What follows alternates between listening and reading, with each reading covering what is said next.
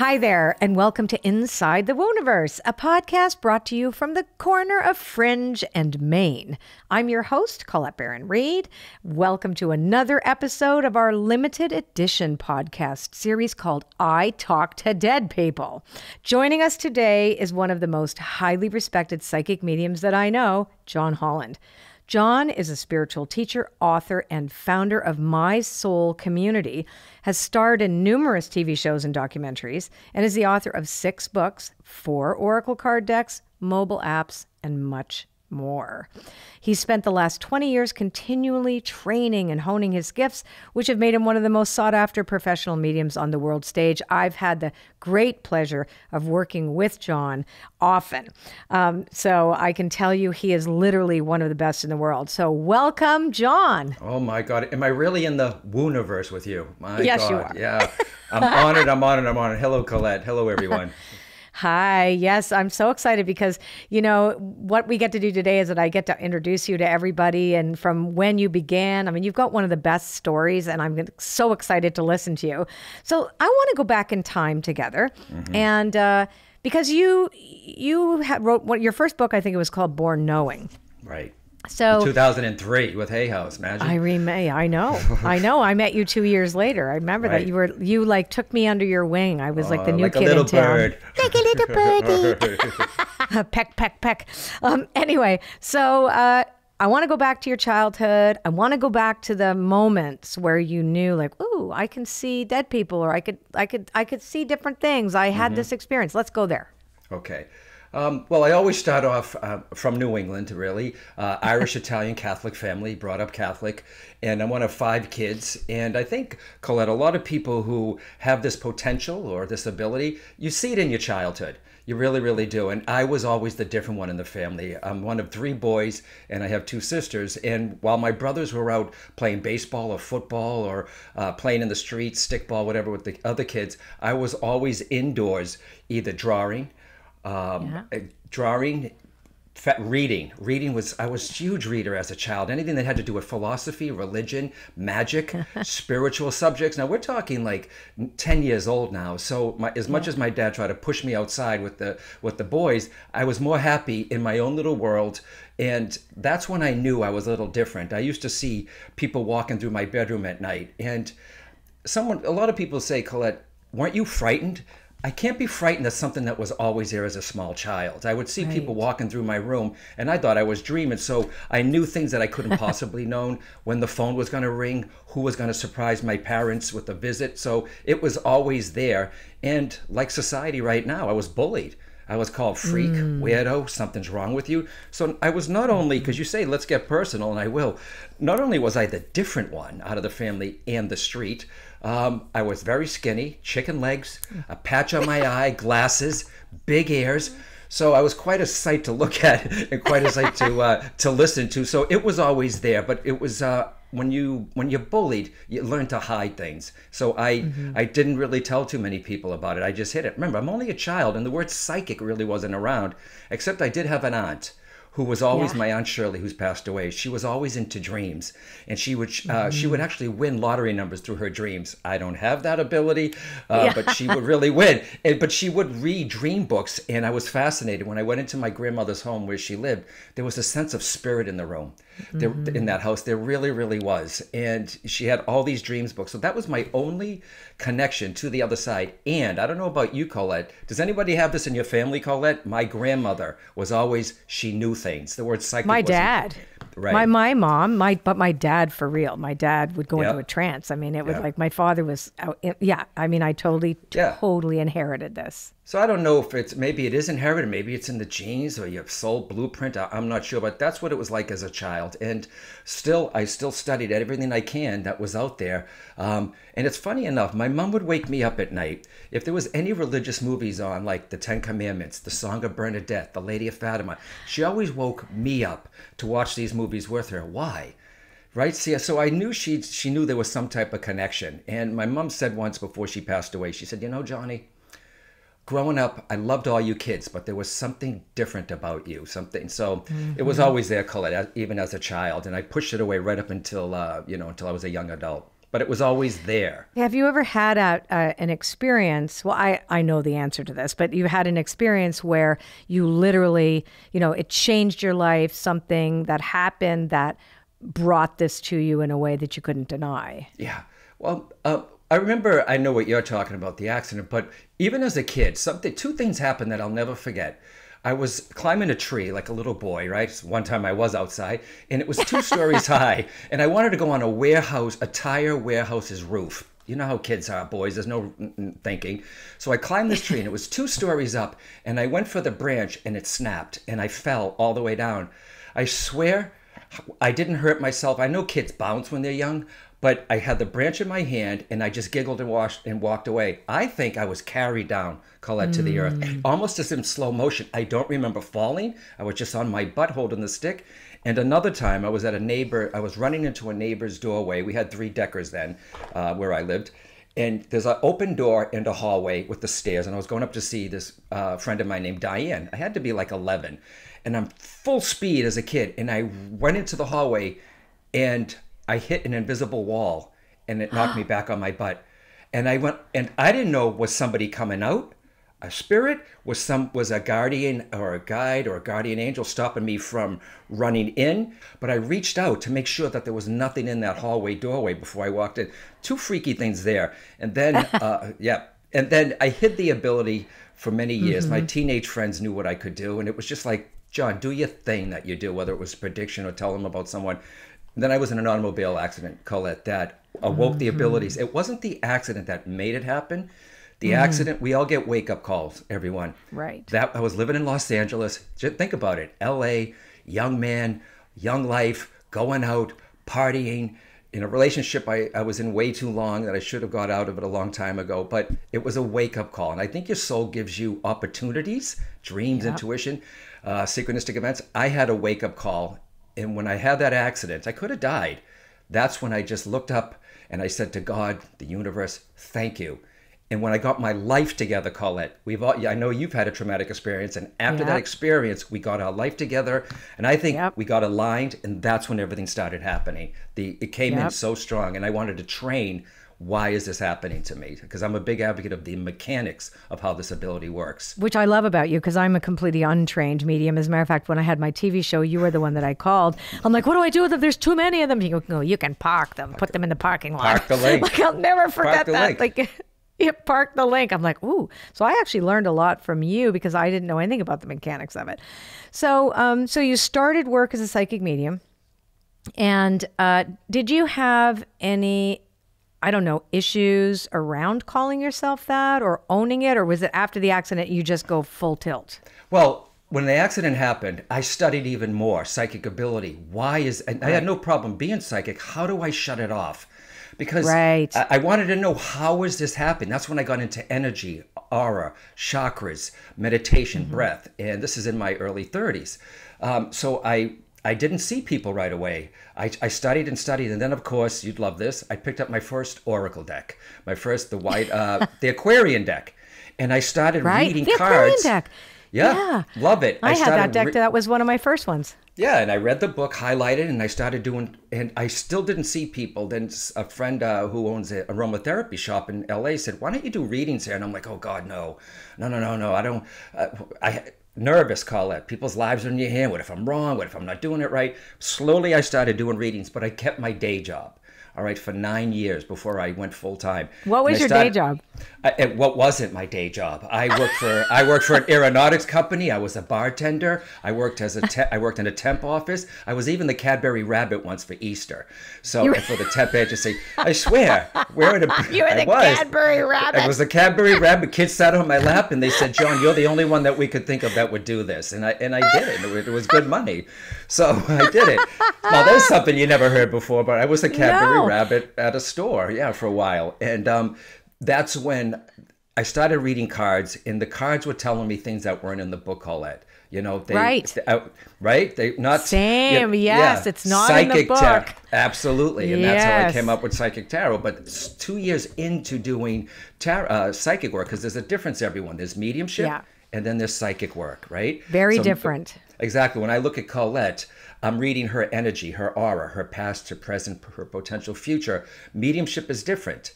I am not connecting to Colette. She is the bridge, but I'm connecting to the other side. So mediums, yeah, psychics perceive, mediums receive. Every medium is psychic, but not every psychic is a medium. So Well, that I'm going to say something about that too, because I, I 100% agree with you. Um, but I do think that the the psychic is not just about perceiving because the, you, you still receive Sure. information, right? But I get it. What you're saying, you receive messages Yes. from the other side. But I understand, and I agree with you 100. percent There, it is. It even comes in. It's a different channel. Like it's like a totally different channel you tune into on a radio. Exactly. Um, it feels different. You're looking at a completely different uh, dimension when you work And a lot of students, they say, "How do we know the difference?" After a while, Colette, you know, there's a feeling to it. There's, it's it's totally Yeah. different. Two years into reading the cards, uh, doing readings on the weekends or, or evenings, whenever, and I did it. Spirit people started on the other side started showing up, and that's what happened. And I I always ask my students, "What do you think happened?" Think about it. Two years i'm reading i'm tuning i'm tuning my my Yeah. aura bigger bigger. Those on the they say in mediumship you raise your energy those on the other side lower theirs. So the potential was there but my vibe wasn't high enough to connect. So two years and so once again everyone for colette i said all right so wait a minute. Why is this happening? Why is this uh-huh. happening? The very first reading was a woman. I was reading mm-hmm. for she came to see me about her artwork where she's going with school, what she wants to do, and that was great. And then all of a sudden, in my mind's eye, I saw a, an elderly woman right beside her. And I'm looking at her, and I'm looking at my client, I'm looking at the old woman. Now remember, it's not like the movies, everyone, all right? Right, I yeah, you don't see them. right. It's kind of ups- it's subjective. And I said, Mari, there's a woman, elderly woman right beside you. Her clothes don't match at all. Don't ask me why I noticed that. And she's showing me a diamond, you know, just pointing to a diamond. So at that point, Mari, my client, she screamed and got up. I screamed because she was screaming. She hugged me and I hugged her. And I said, Mari, what was that? Because Colette, it was different. She said, John, my great aunt Ada, who helped raise me, was colorblind. That's why her clothes never matched. And the diamond I'm wearing right now, I inherited from her. So that was the very first time. And I said, oh, great. So people on the other side are showing up, and it kept happening. And once again, Colette, I didn't just call myself a medium. Why is this happening to me? How? Why is Uncle Joe or people's mom and dad or kids showing up in their reading? That's when synchronistic events led me to England to study for over two and a half years in England, uh, evidential mediumship. It was very synchronistic how everything. Once I acted, I got my life together. Everything lined up, and I just followed the signs. I think about that too. You know, um, I had first of all, I had no idea that you were going to work in a aromatherapy shop because that's where I started when I and I actually had the same experience with somebody screaming and then I screamed. And and even until I met you, which was years, it took me 20 years before I would even say the word medium because I was still like, I don't understand how this is working. Had I gone and gotten trained, had Right. I gone like you do over to England, I would have had a different story to tell. But because I was like, how is this possible? I maybe I'm just really good at perceiving this information and I just know. So I was always like curious about that. So I'm I'm I like that that your story includes, you know, that you went and trained, the mechanics became and therefore you could relax into it more. Well, yeah, and I wanted to know. Remember, I'm from I'm a, I'm a kid from the streets, and I'm not going to read someone and say, "You, oh, your grandmother's hair, and there's a butterfly on her head." You know, it's it's I it's I wanted evidence. I wanted to make sure Yep. because I'm tough with that, right? So, um, and you said you asked me, "What did I have a problem calling myself psychic?" Not really, but I was I was careful of skeptics.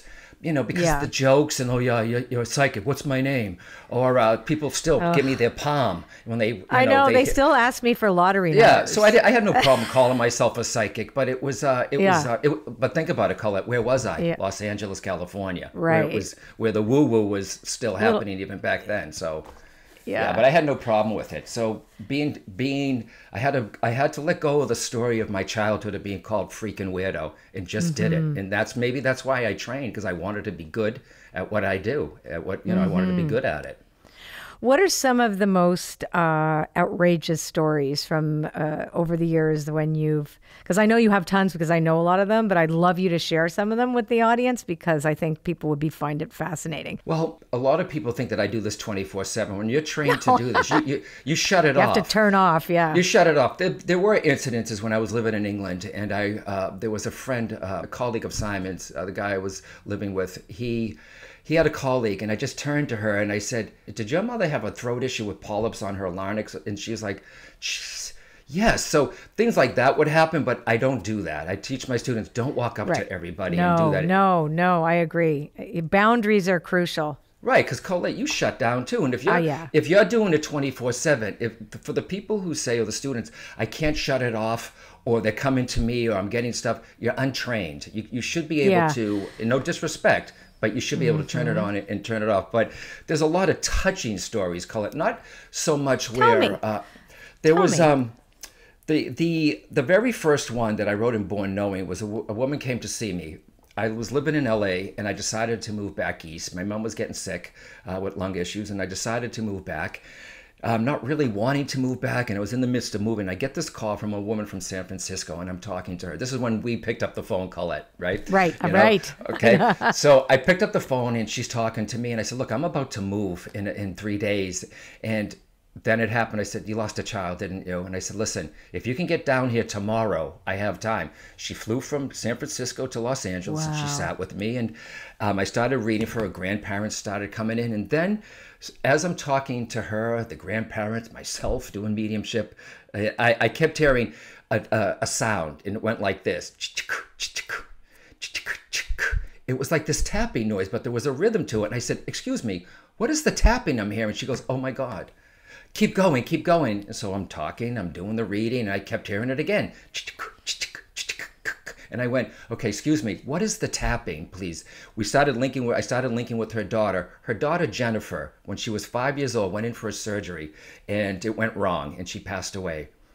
But before she passed away, she remember uh, for the older audience, uh, remember clogs with the Yes, remember the clogs? clogs, yes. clogs, not not not not um, not the rubber ones, but literally Right. wooden clogs. Wooden they- clogs. That uh, the girls used to wear. So she had a pair uh, that were too big for her, and they were called her clickety clack shoes. So when Oh. Melinda, the mother, went to go visit her sister, who worked at a hospital also, li- linoleum floors, Jennifer would wear those shoes, and what would she do? Along the floor. Skip, skip along the floor, and they buried her in those shoes, Colette. Oh my God. They buried her in those click clack shoes. And then the reading ended with I said, Did you send up a balloon? I said one balloon to her, and she says, Oh my God. She says every year on her anniversary, her picture's on the balloon. This is when you could send up balloons, right? Before it Right, was dangerous because of the f- ocean. She, they sent up a balloon, and all her kids and friends and family would tie a little note on there to her, and then send them up to her. And, and I said, "Wow, that's special." So it was that was one of the most special ones. And then, kind of a sad reading, but still the mother was comforted. So I lived near Venice Beach. So I go to the beach. It's like six o'clock at night. The sun is going down, and nobody's at the beach. And I'm sitting there just thinking about leaving LA, kind of sad. The reading I just had, and what do I see washing ashore? A one red balloon, and I said, "Oh my God." If I go to that, if I go pick up that balloon and I see that kid's face on that balloon, I am going to absolutely freaking freak out. So I, and it wasn't. But what are the right, chances but of? still. It was almost like I looked at it as like a thank you from Jennifer because nobody's on the beach. I just did the reading. I ended with the balloon and one washes ashore where I was sitting. So things like that, and it happens over and over. And and there's uh and just one more quick one. This is very. You don't have to be quick. you don't have to be quick. Good, I love that. In the in the Wooniverse, it's in your own time, right? So That's right. And we like hearing these stories in the Wooniverse. That's why we're here. it's you know, Colette, you've done this, and as much as we love what we do, there have been times in our life where can I keep doing this? yeah. Emotionally, physically, mentally, spiritually, it's it's it's it can be exhausting if you don't monitor, balance the physical and the spiritual. I was I was really tired. I was doing it a lot, working my day job, doing it when I can, letting clients dictate when I could see them. I didn't set a schedule. There was a woman who came to see me, and it was it's always the people that lost children, Colette, that that bring me back mm. to doing this work. So this woman comes to see me, and clairvoyantly, in my mind's eye, again, I see an empty wheelchair roll in front of me. And I went, and I'm looking at it, and I said, You lost a son. I said, He's telling me, Look, Ma, no more wheels. And she started crying. And she said, Yeah. Please, please, he said, Please tell my mom I am running the bases, B A S E S. And I went, Okay. I said, Would you understand that? He was a handicapped child, physically challenged. He had spina bifida. He was in a wheelchair from the time he was born, right? So he's on a bus and he the bus driver hit the gas a little too fast and the kid's body I don't want to get too graphical, but it's, You're right, it's right, right, he- right, yeah. his neck was Right. impacted by his head going back Yep. and he passed away uh, because the, the bus driver just went a little too fast when he hit the brake or the gas. so yeah. When this kid, his whole life, this little boy, he had to be about, I don't know, I think he was like 10 or 11. So remember, no more wheels. He's not in the wheelchair anymore. and he said, wheel- tell him I'm right, running the bases. Outside his bedroom window, across the street, was a baseball field. He would look out that window at the boys playing baseball, knowing he'll never be able to run the bases or get to play. Well, it's emotional, right? Yeah, yeah. The wheelchair comes in. It says no more, no more, no more wheels, ma. Let my mom know I'm running the bases. So, is there baseball in heaven? I guess there is because he was running the bases and the kid was free of that body. Very touching. Things like we've done thousands of readings, Colette, but there's some that stay with our heart, you know, and that, and that's one of them. There's so many. So, have I had freaky ones? Yes. I'm, you know, it happens all the time. Um, you know- Have you, know, had a funny one? Well- a really funny one? Well? How much can I say here on the Wooniverse? You can um, say anything. You can swear well- on the Wooniverse. Well, everyone now for the people who are thinking, yes, being a medium and, and an intuitive, it, it's it's a it's a spiritual aspect, all right. So Yeah, I'm going to it tell could you be something. hilarious, too. I'm going to tell you something that I've really never said publicly or oh, on air. All right. So here's one. So this woman comes to see me. Remember, everyone, when they go to the other side, they don't turn into these exalted beings. They're the same people. It, but you know, if they if they were a piece of work here, they see what they've done here. But um, I could tell I was linking with her husband. He had the most, the biggest sense of humor. And I said, "Would you?" Mark will like this too. I said, wait a minute why is he would you understand now i'm getting something in my mind's eye and it's i teach people call it impression versus expression how am i going to say Right. this so i said why is he saying one hung low one hung low and i said and she started laughing her ass off and i said would you understand why she said now Colette, I don't know if you know what that expression is, but she said one hung low. And I said, why is he talking about one hung low? She said, because that's all he had. He had testicle cancer. And so that was hysterical. It's like I said, is he really coming? She said he would say it all the time, John. So as much as you're saying to the wife, you know he's, you know he still exists. yeah, you know you were he like wanting to say, "Oh, he loves you," but uh, don't you think though that they people won't recognize the other person without the humor? Like that's what I found. Like Exactly. like they come through with for me. I get the body ex-alcoholics, the drug addicts, like that. You know, with the wild personalities, it'll come through and they'll say stuff that are so outrageous, and I have to tell this to the person. right. But they were like, "That's for sure, my dad. That is hundred percent. He would say that." You know, and I remember, like, so I felt. Even though he also felt like an evolved being. So it was like, I'm going to show you who I was. And this is what I would say. But I also now want to say, this is what I've learned. So Right. here's what I want to impart to Yeah. you. So, yeah. So when we do mediumship, everyone, you have to realize bringing through the personality of someone where you're twitching like them. Or Yeah. the other day, I did a demonstration. I kept moving my mouth to the side. He said he had a cigarette in the side of his mouth. She goes, "No, it was a match, a stick, stick match." when you bring through the personality, it's great evidence. But I want you to know if somebody has someone that wasn't really nice to them, their personality was was a, uh, a difficult person. Mm-hmm. If I somebody say somebody had a mom that was difficult, that Yep. personality is going to come through for them. Because if I said to someone, "What a calm, peaceful, gentle soul your mother is," they'd be like, "That's not my mother." That's they will right. Show, That's right. right. They'll have to show. Yes, but I want you to know, everyone, they're not like that. It's just for identification purposes. only. Exactly. It's not like Right. they went onto the other side and they're still they're still nasty. It's like Exactly. they but they show you that's how I've experienced it too. They show you right. who they are to get the attention of the person to show the evidence. This is who I was. This is my personality, and That's then right. you pr- you process exactly.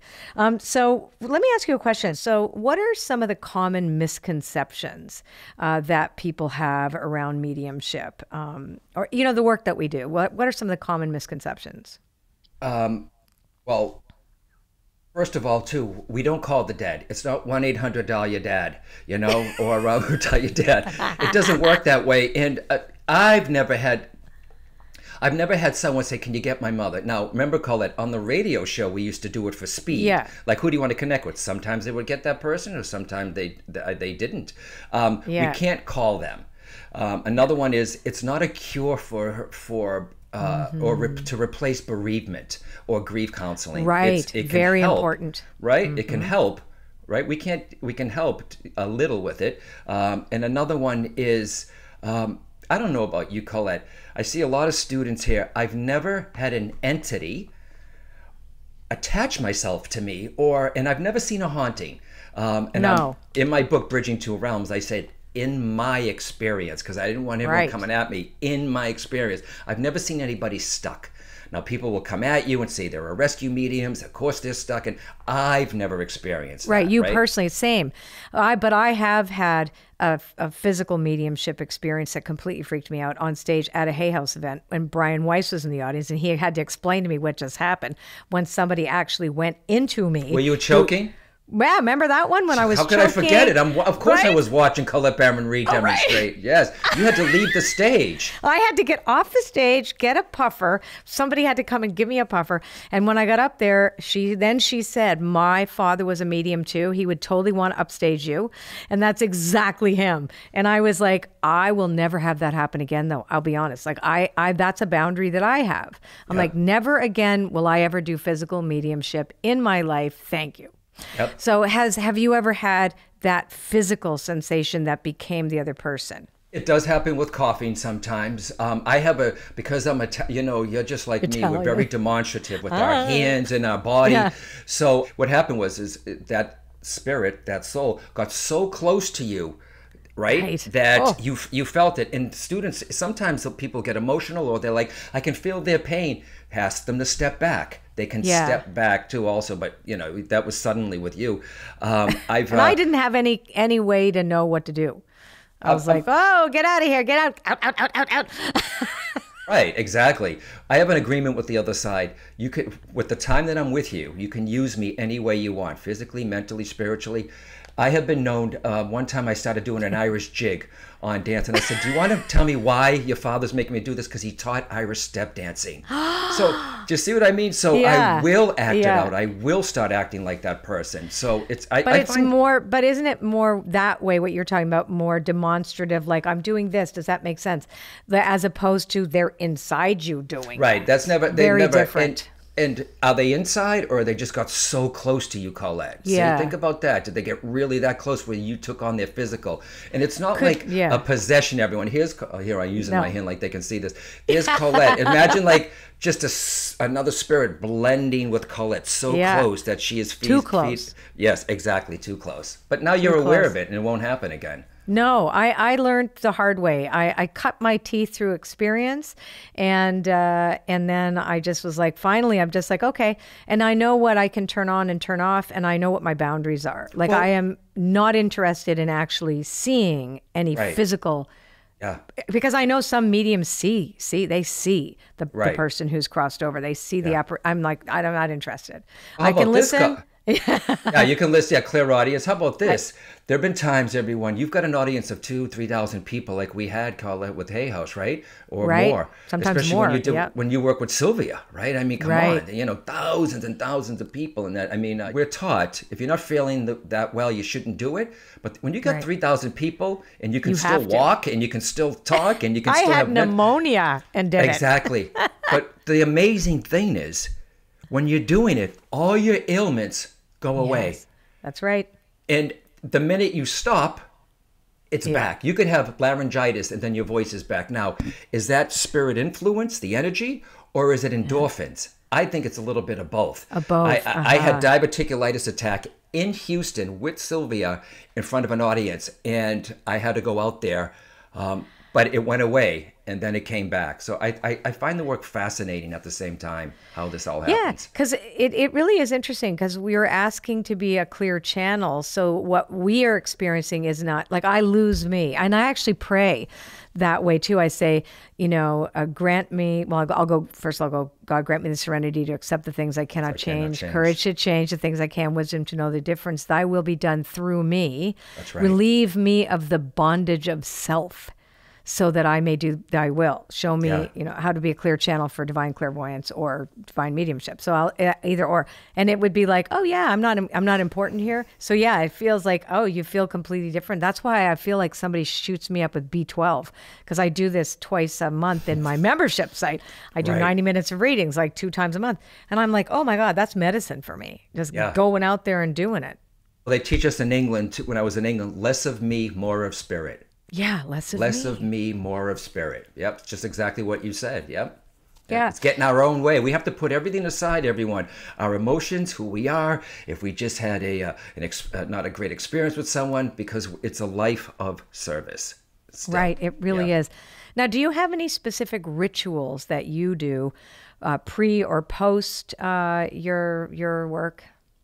Yep. Before I get on stage or before I see a reading? Both, Well, I yeah. was raised Catholic, and you know, you uh, have been doing the Serenity Prayer. Um, I think that's brilliant. I literally get on my knee, do the crucifix over me. Okay, you know, do you know? I bless myself, and then I say the Our Father. I call it in my mediumship training the turn-on switch, meaning. By you saying serenity and less of you, more of spirit in the serenity prayer that you do, I look at it this way: we're letting them know I'm ready for you. Okay, Yeah. I'm, I am open. Uh, The door is open. You know, you can step forward now. So that is my ritual, where I, will try to get calm. I don't have to light an incense or a candle or start chanting Om. It's we've been doing it long enough to say, Yeah. I just get on my knee, do the Our Father, and then I get up. And it's weird when I don't do it. It seems like um, I mean, I it get still it. work. It's just it is such a ritual, a spiritual practice that uh, it's something that I I I'll always do. Call it no matter what. It's interesting that you get on one knee. So I find the supplicant prayer, the contemplative supplicant prayer on my knees, like just saying I surrender. That for me is important too. Is be- like before I go out and do, even when I show up for Spirit Jam, you know, whenever you know we do uh, an event, like I'm always on my knees that day. In the morning, I'm on my knees saying like, use me, use through me. What's the highest good? And then I just trust that it's the highest good, even if I'm like I don't. It, I could be wrong, but it's my interpretation as opposed to the actual. Usually, I say, and I believe, and you tell me if you feel that way too, that the information is always 100% correct. It's just sometimes our interpretation of it that's not right. Exactamundo. Yes. yeah, we can misinterpret what we're getting. And can I tell you another story that Yeah. people Okay. So the end of Bridging Two Realm, I'm kind of giving it away. Um, but there was a time with Brian Weiss. Um, remember, I'm always fascinated by this work because I always look at it if something comes through, I don't let's say, look what I got. Look what I got. It's coming through me. It's coming from them. So I will Right. give them the credit on the other Yeah. side. There was a time when um, uh, you know Bob and Melissa, right? Sure. So I knew Bob's birthday was coming. This is a number of years ago, and I was about to do an event with Brian Weiss at the at, in Boston for 1,200 people. It was sold out, and it was like a few days away. But I'm driving down the street, and I saw the Hallmark store, and in my head, I said, "Ah, I got to get Bob a birthday card. So as soon as I said that, I heard this in my head: Buy a Snoopy buy a Snoopy. And I went, now, I didn't say, who are you? why, why, why should I buy it? I'm thinking it's a kid in my mind. but I've trusted if something comes to me out of the blue that has nothing to do with, call it anything that I'm doing. Right. So I went into the Hallmark store and I said, "Do you have any Snoopies?" You know, and she showed me one that shakes like it was having a uh, seizure. I'm like, "No, not those." I said, "Don't you have a little plush Snoopy? Every store has them, right?" You know, so uh, especially Hallmark stores. So I took one of those and I put a big red bow on it. I didn't know if this was going to be given away to a child or from a child, but I knew Brian Weiss's thing was happening, so I trusted it. I gave Yep. it to my assistant and I said, "Look, it put this behind the podium." Right. If it if it if if during the, the afternoon that it comes through in a message then it'll happen but i am not going to walk on stage with go, the "Whose is this?" or say this: Does anyone? Can anybody? Can you say to twelve hundred people? Can anybody relate to the character or the cartoon Peanuts or Snoopy? Well, everybody ev- does. We all exactly. I have a beagle. My aunt, my my mother's Lucy. My dad called me Peanuts. It had to come through the reading. So one of the very last readings that I'm doing, I went to the side, to the right side here, and I said, "Someone over here. I have a mother who's coming through, saying you it's, who couldn't make the funeral." And I pointed right to the row, right, because you can't do 1,200. Right, 'cause right, it's right, right, right, right. So I went and I said, "Who here understands you didn't make it to the mom's funeral? Um, she passed away like this." And a woman raised her hand and she said, "He did," which is her husband. And Right. so the message started coming through from the mother, and in my head, I heard, "This is where the Snoopy goes." Oh. So now remember, twelve hundred people. You're taking. You've got to so trust in your work and in spirit. I walked behind the podium. Now my assistant put a big red bow on the collar of it, and I put it behind my back, and I said, "Okay, sir, would you understand?" Oh, then his dad came through, right? Right. And then I'm linking with the dad then, and I said, Can you tell me why your dad made me buy a Snoopy? And I held it out to the audience. And he, was taken back. The wife was taken back. And I said, Can you please explain this? Why? I said, I had to buy it. Your father gets off. Okay. And- and he told me that Charles Schulz, he loved hockey. Now, a lot of people don't know this. You can look it up. If you look where Charles Schulz's office was, he had a hockey rink built outside his office outside. And all the retired hockey players he would invite to start their own league just to play as older men. His father was on Team Snoopy, and Charles Schulz would always say, Come join my team. Come join my team. Well, it, so it was Team Snoopy. So what Team Snoopy. so what evidence is that, right? So the whole audience is like, oh! and so I was like, I have to play it cool, like, yeah, this is like nothing. But how fast? How I never play it cool. I'm always just as freaked out as everybody I else. was freaked I mean, out. I, come on. I mean, if I ever doubted it, I mean, out of all the people, I bring the Snoopy. His father played hockey with Charles Schulz in another state, and you could everyone could look it up. Charles Schulz hockey rink right Schulz outside his oh office. Oh, my Fascinating. God. How do you doubt that? How does a skeptic say, Yeah. "Well, come on"? Oh, I know. Now, have uh, tell me a couple of stories because we're you and I are going to be working on a book called Ghost Whiskers because this is both of our experiences with animals and we're both big right. animal activists. So, tell me about any any like amazing reading that you did where the animal has come through. Well, a lot of people don't know this, but let me share something that happened when I watched Colette do this. Her, when her mediumship started unfolding. That's the word, unfolding. Unfolding, So mm-hmm. she's on stage, and I know it's about me, but I'm going to turn it around because I have to tell about you because I was fascinated. I love watching people work on stage. It's not competition. There's enough No. dead people for everybody Everybody, there's enough dead people. get the training, right? So Colette is there and she says, I have a mouse here with three legs. And it was in her hair. And she said, and she said, I have a mouse here. Now Colette, the spirit would come through with the animal, lead them to the lead them to the person, and then Colette would do her, her reading, whether it was or person's psychic. reading, yeah. Exactly. So I have a three-legged dog here, and you would understand no, a three-legged mouse here. And Or it was a rat. It was a rat. Right. And it- three yeah. legs now. And she said it would sit on the shoulder and hide in your hair. And the girl raises her hand. Now, I don't know about you, but in my mind, if I was to get something like that, I'd be like this. Oh, please, somebody raise their hand on that one. right, please. Who's going to raise their hand? Sure enough, a woman raises her hand. She had a pet rat Yeah. that had three legs and would always wind itself in her hair to keep warm, or that's where she had it. Right? So, come on. I mean, Yeah. so that animal came through, but I've had three-legged dogs come through. I've had, I think they do go to the other side. Now, I'm not an animal communicator. I think No, we neither could am be- I. I think we could call it if we just if we Yeah. if we train that, you know. And I don't, we're already connecting, but um, I know I'm doing it at the dog park now for people. Where I'm connecting with the dog that's alive, talking to them, and it's really bizarre. But um, it's it's our work and they changes. come in at the same. Do you not notice too sometimes that the living animal sounds exactly like the animal who's crossed?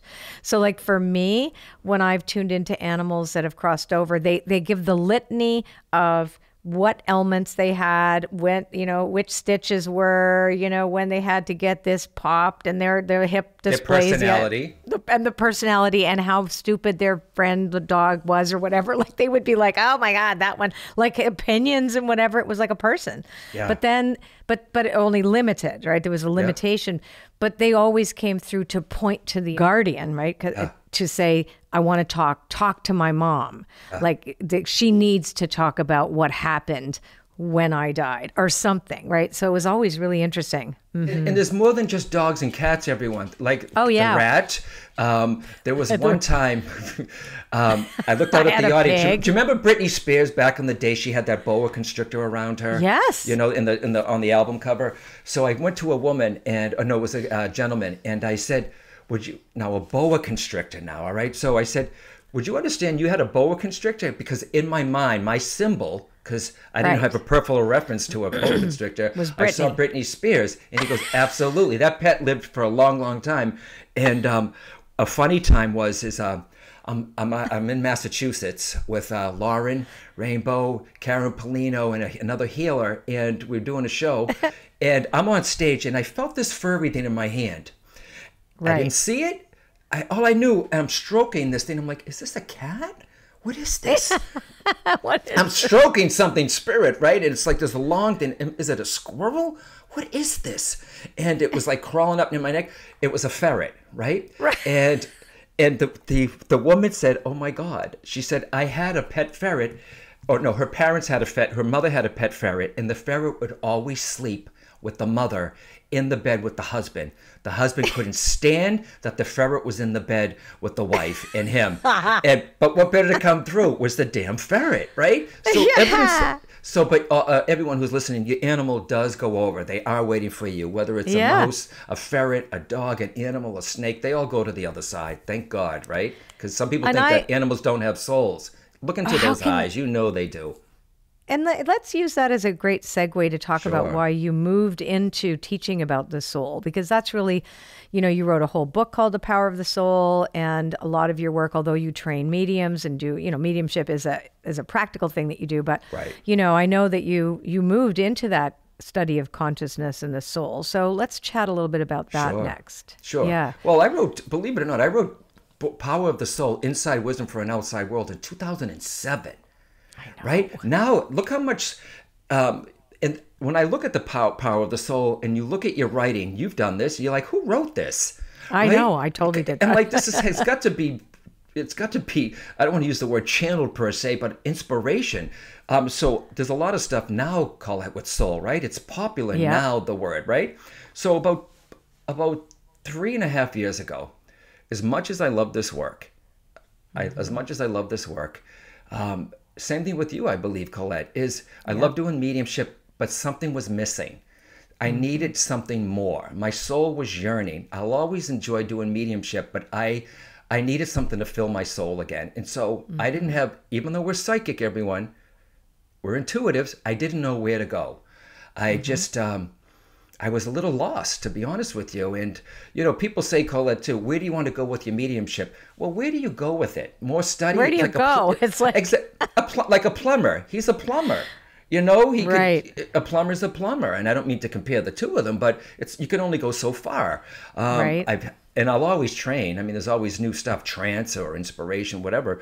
But so I just sometimes you have to live into the answer. And someone someone might say, well, why don't you call Ed? She could give you some guidance. I needed to find this on my own. Uh, there was like a not an emptiness, but for about a year and a half, I just I knew just because something doesn't happen, everyone. So, they were working on things in the Right. background. And that's when I started getting more into power of the soul, your soul purpose, your soul gifts, um, how your soul has a blueprint. And slowly, Right. little by little, I went back to power of the soul. And I guess it was time, Colette. That's when I started yeah. my soul community. It's based on helping people uh, to honor and to know that they ha- you are a soul that comes with a body, not a body that comes with the soul. Comes with a your soul. soul's been trying to get your attention. Colette, you know your soul has been trying to get your attention your whole life doing this work, but no, I don't want to do that. I don't want to do that. No, I said I didn't want to do that for ages. But see how Like, it I don't keeps really happening. do this. I'm really a singer. Come, uh, Right? don't come back next year. Oh, oh my God! I, I, I had so much resistance. I had such a huge chip on my shoulder about this. That's right. Because call it a major singer with EMI Records and Reid Tracy, the president of Hay House, said to me, um, "I love I love saying these things." They uh, he says to me, "We have a singing medium coming in, named Colette Baron Reid," and I went, "A singing medium? So she sings She the messages?" sing her not a medium who sings, but a singing medium. And um, and I'm like, what? I have your father coming through. I mean, you know, I just, but he should have told me she's a she's a recording artist. All he had to say, but she's a singing medium. So I walked away like, okay, well, we'll see what that's all about. And in comes you and Mark. So yeah, yeah. That's hilarious. But I uh, so let's talk about that soul's blueprint because I think that everybody's going to want to really get that. Tell me if you agree with me, Sure. um, and I'd love to hear your take on this. So I think uh, I believe that you can actually see indicators. If you look at a really good astrology chart for example you get a blueprint. But you know and the blueprint is saying in this lifetime here are some of the evolutionary aspects that you'll be invited to experience. But there's no guarantee that the the highest level of that is going to be what that's part of free will. So um, what I question I'd like to impart to you is given that you know we know we all come in with a blueprint um, what is the relationship between free will the ego and the soul Yeah, yeah. Um, think about it. I believe that you come in with a blueprint. It's going from point A to point B.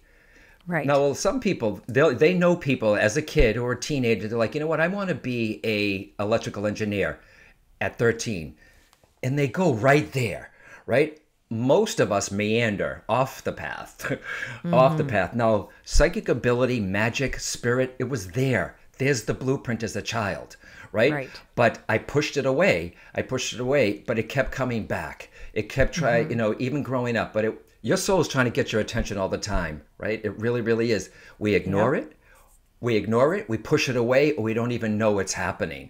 I kept mm-hmm. getting these signs about going back to intuitive work or studying more of this, but I was too mm-hmm. busy in LA in the material ego world, Right. you know, about where I was living and then partying and, you know, going out here until I had that wake up call, which put me back on the track.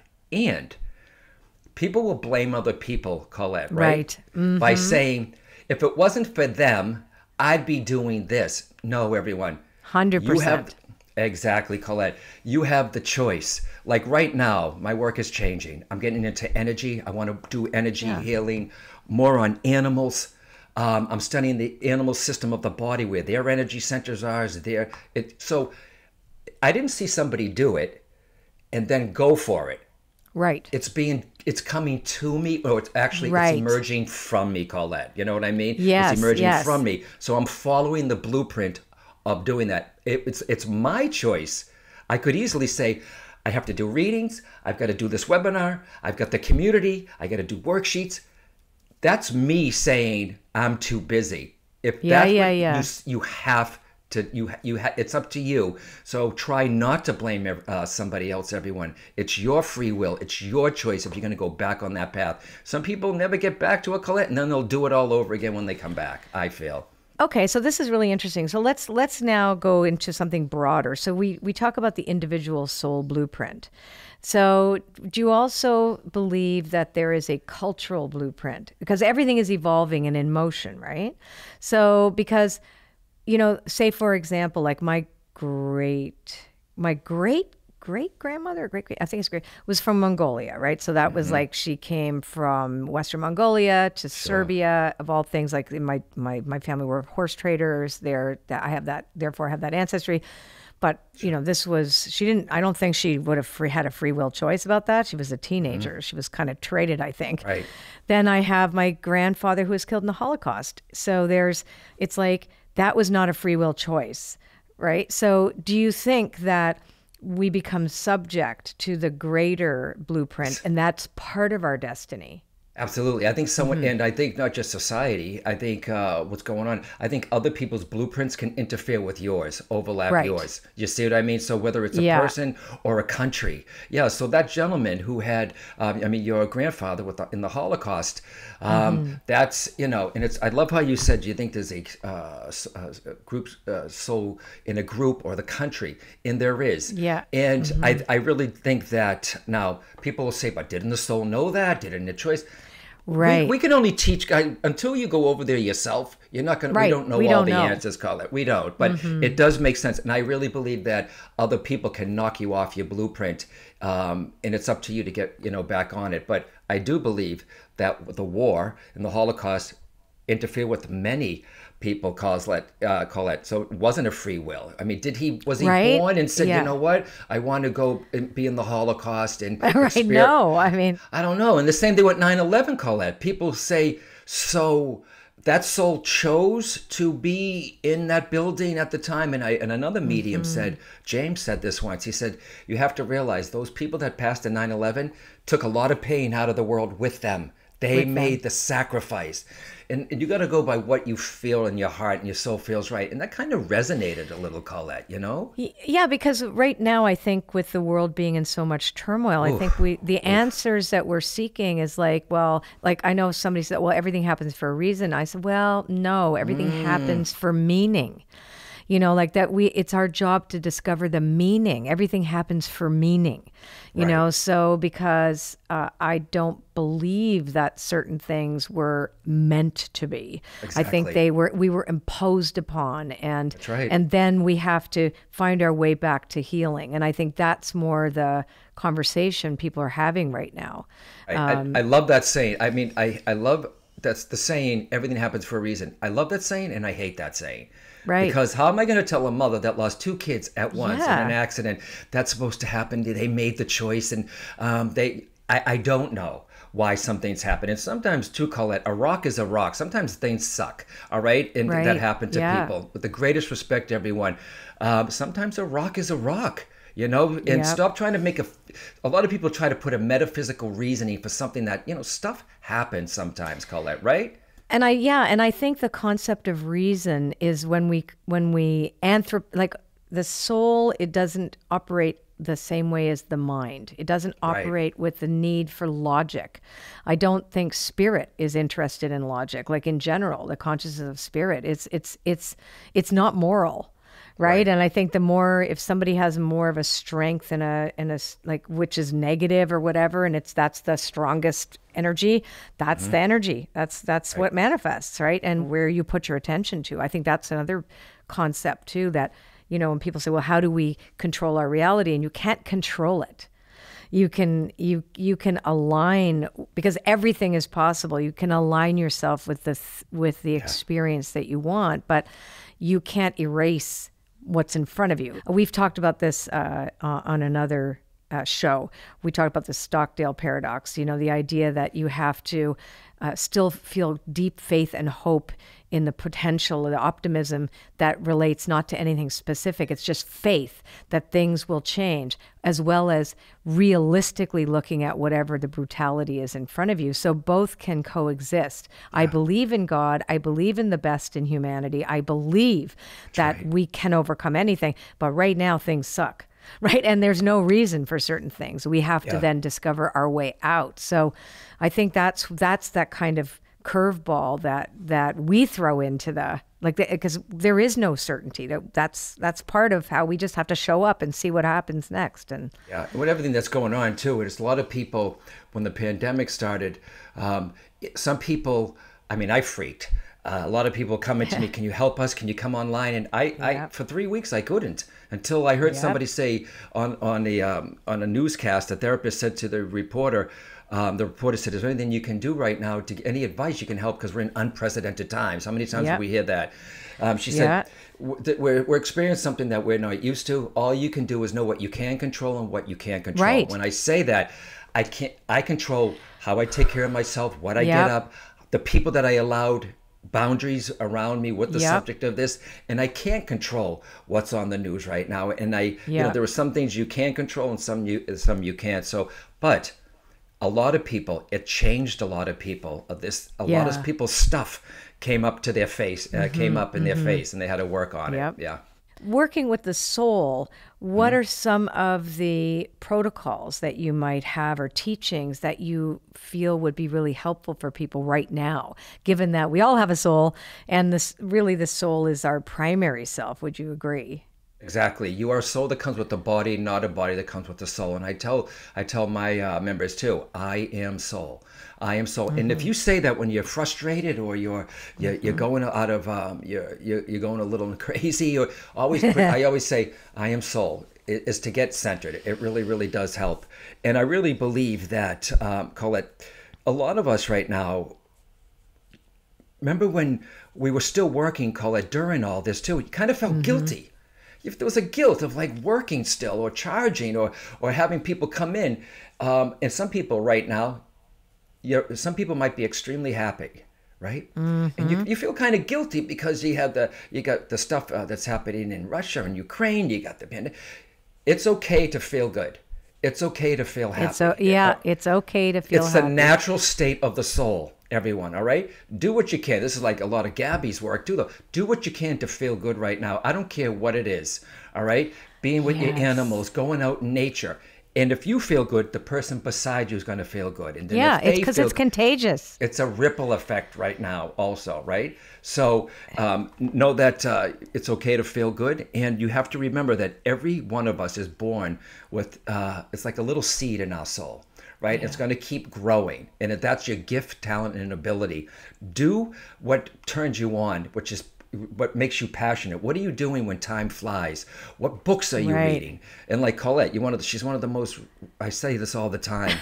She's one of the most well-read of esoteric subjects. She's she reads three in a week or something, and she Not goes, "Did anymore. you read?" I oh did, oh but yeah.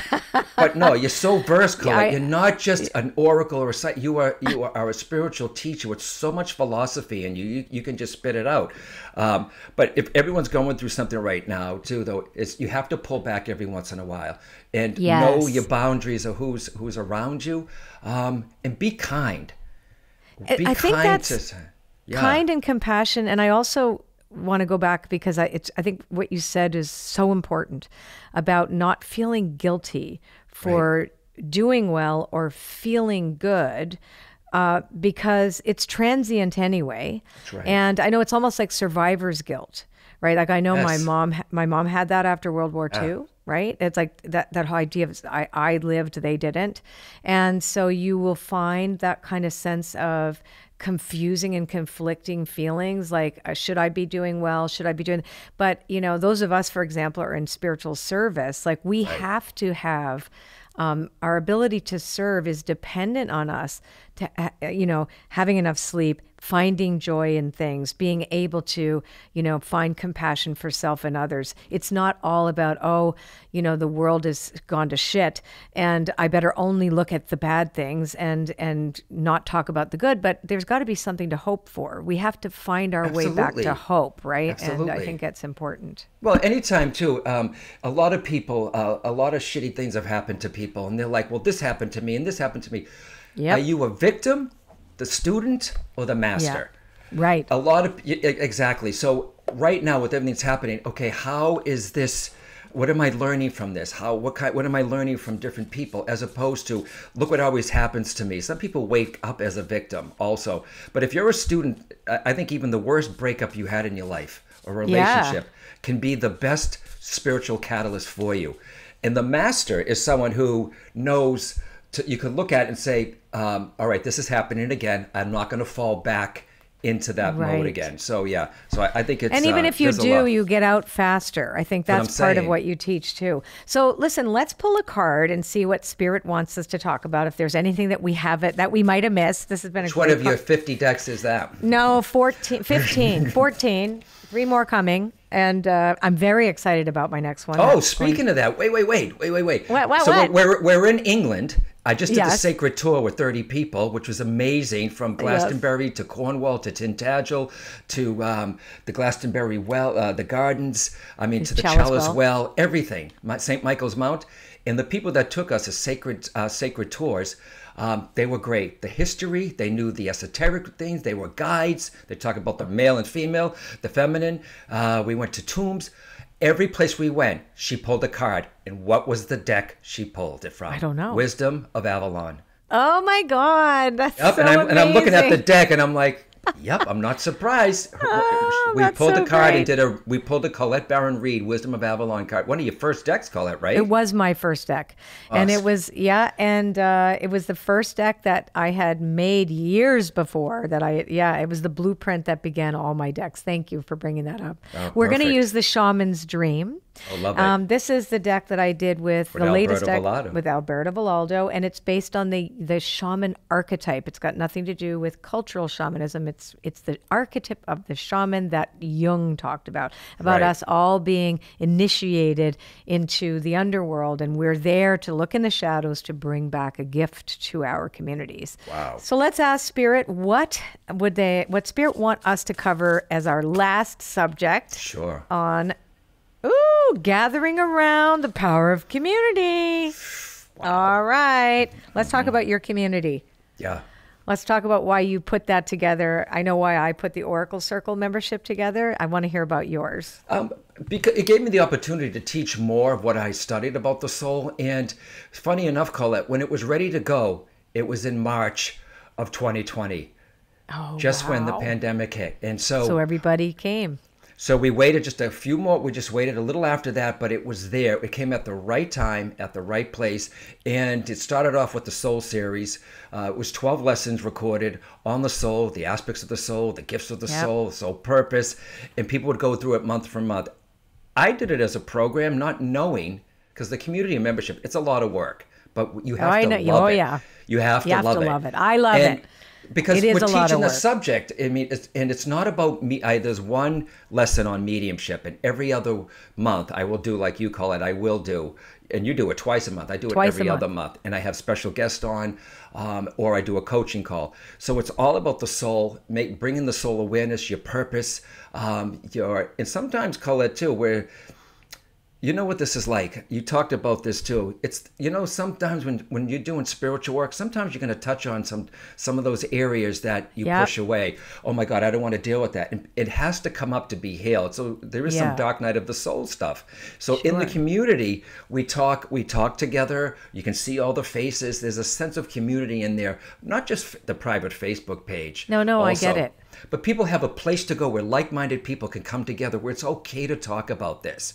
And I get to teach them um, all about the soul and it's it's I find it fascinating. So it's evolving, Colette. It's kind of telling Yeah. me where I want to go. I with same, this- yeah. yeah. Yeah. Absolutely. Y- You know, it's interesting because when I first got clean and sober, which is 36 and a half years ago, um, I did not want to join anything. So I joined a 12 step program. It was the only thing to save my life. So I learned the own for me that we need other people in That's order to heal. We need the commu- the sense of community because we do this as a we, not an I. That's right. So I've always believed in the power of community, and it was like I said, it wasn't something I ever wanted to do, but it but it saved my life. So I knew that a- eh, that especially through the pandemic, a community is so so important. Oh God, but yeah. also, what is the nature of that community? So one of the things that I learned in the twelve step program is that like half my friends didn't even know what I did for a living. Like we came with a common purpose, which mm-hmm. that common purpose, like in my community, we're a spiritual recharging station. We come in there to heal, to love, to laugh, to play, to connect with spirit, you know, to uh, to recalibrate, you know, re-energize and find our map find our right. navigation to our life's purpose right so that i know very clearly in in the recovery programs it was all about recovery it didn't matter what we did so we could have these incredibly diverse audiences like in our cases you both yours and mine our communities are ba- are are filled with diversity and and God. because because we're there for one thing it's we're not there for everything right so Right. that's that's what i love about your and it's not about me or Colette. It's about No. the community, the group, The And you- community. you're starting to see the. you- You're starting to get to know the faces, Colette, too, and then yeah you got a the lot same of people. ones oh yeah But oh, it, yeah. it is it is amazing, and you I know you must have gotten uh, testimonies like this. This came at the right time. This saved Yep. my life. You don't know what this means to me. So it is it is good feedback, but it's a chance where you can come together in a community of people. Yeah. Uh, you know who they would not normally mix, right? These are not right. people you would not ne- necessarily want to go make friends with everybody because you come from different walks of life, different everything. But the one thing you have in common is Yeah. something that you know that we bring them together with. John, this has been amazing. Thank you so much. love it. You can all find information about John Holland on our show notes page. Uh, we you can go to johnholland.com, of course. That's easy Mm-hmm. for more information about John and all of his offerings. Uh, find him at johnholland.com. You can also, as I said, click on the show notes link in the description and be whisked to a page just dedicated to this very episode, just for John, with links to John's website, his phenomenal books and all the things that he has created. The Psychic Tarot, which is a fantastic, fantastic deck. Still a huge classic. It still sells And came world. new with the. I mean, they just improved the app too, right? Just like you know, Right. uh, oh my God! Yes, right. We we we're back on the apps again, you and I, which will be great. Anyway, thank you so much, John, for your time, for your love. We love you. Thank you for your work, Colette, in the Wooniverse. I love you. Thank you so much. So, what a great conversation with John Holland, psychic medium John Holland.